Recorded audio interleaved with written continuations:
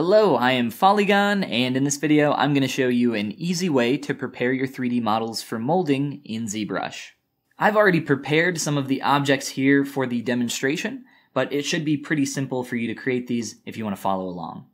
So I have a simple cube here that I've actually split into two separate cubes, and we'll talk more about those here shortly. And I also have a sphere inside of those, which is going to be the first object that we mold. So let me go ahead and hide that one half of our mold. You can kind of see how this is set up here. So our sphere is indented into our half of our cube. So to actually get a preview of what this would look like to mold this object, let's go ahead and turn on Live Boolean and then set our sphere to negative in our subtool menu.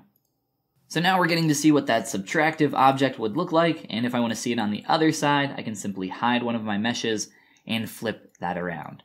The extra information in this part of the mold is simply what's called a key, and I have that set up on the other side as a positive. The objective of that shape is to make it so that the two halves of the mold can only fit together in one specific way, which is why the one keyed piece up here is turned at a particular 45 degree angle. So we have our sphere subtracting from our mold, and that's all well and good, but how do we know if there's going to be any issues with this object?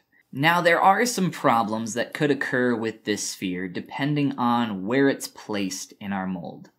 For instance, if the sphere was placed so far into our mold that the seam line was no longer in the center of the object, this sphere would be very difficult to remove from this mold, particularly if the object and mold are very hard or brittle.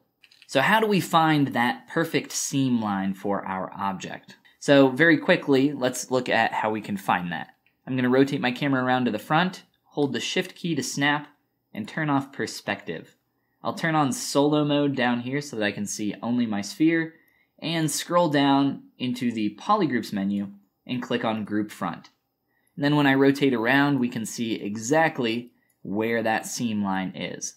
So we can snap to the side and you can see that that is putting that seam line directly down the middle. So this group front button here, based on the angle that we have applied for the tolerance, which is set to 90 by default, is showing us all the geometry that is front facing, essentially facing our camera from this view. And then we can use that information to figure out where we want our seam line to be placed. So if I turn on transparent here, we can see that my mold is pretty much aligned exactly with where that seam line is. So that is the center line for our sphere, and probably the best place that we can put our seam line to mold this object. So now let's look at something that's a little bit more complex than a sphere, and see what kind of other issues we can run into. So I have another sphere. Uh, this time it just has a few dimples around the edges, nothing too crazy here, and we can see what the negative for that object looks like. And we'll do the exact same thing. We'll turn off perspective, hold that shift key to snap our view, and then I'll scroll down and click on group front yet again. We'll turn on polyframe with shift F and rotate around to the side. And this time we're not getting that nice clean seam line down the middle. Well, we are getting that, but we're also getting some areas here that are a little bit weird. So these areas are also facing that front view here from which we polygrouped with that group front button.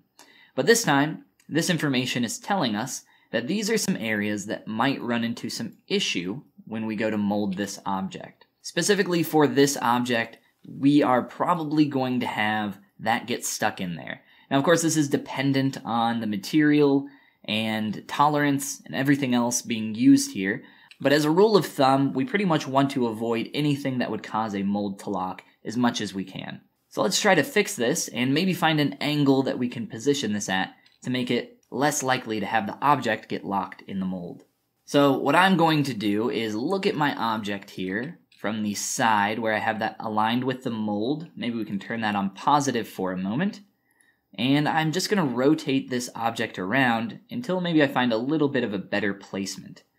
And I'm just going to kind of use my eye here and that looks a little bit better. So let's see what that does with our polygroup front button.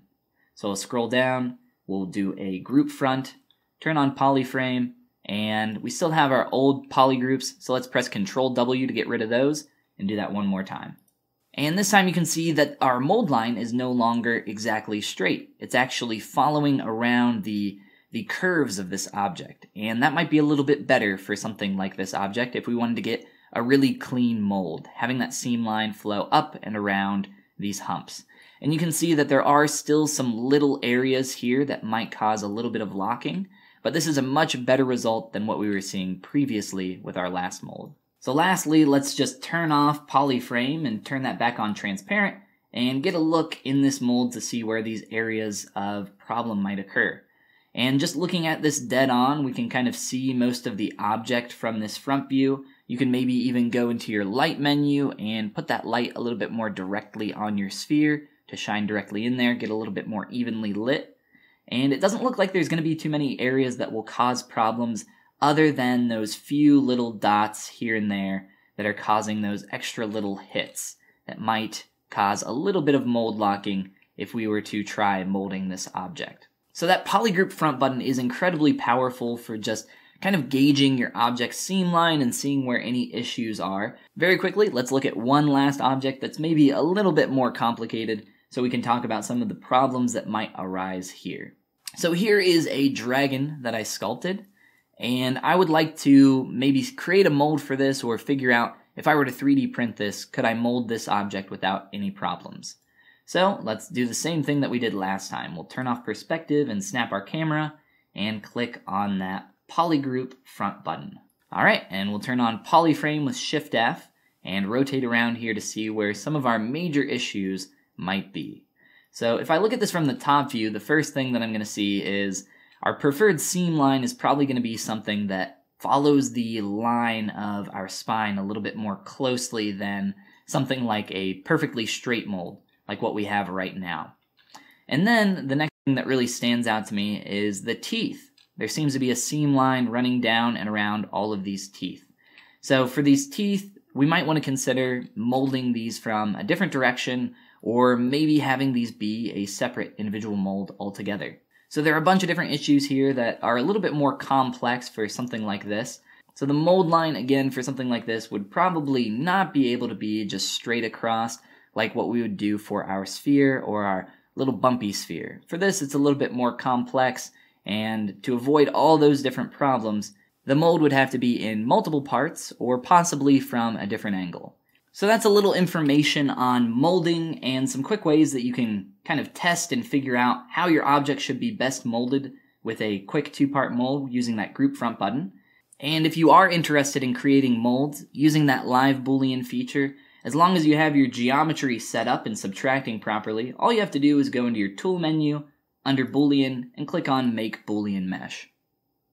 If you found this video helpful, check out gumroad.com slash follygon for more tutorials, brushes, materials, and all the stuff that I use professionally to do my work. You guys have a great rest of your day, and I'll see you next time.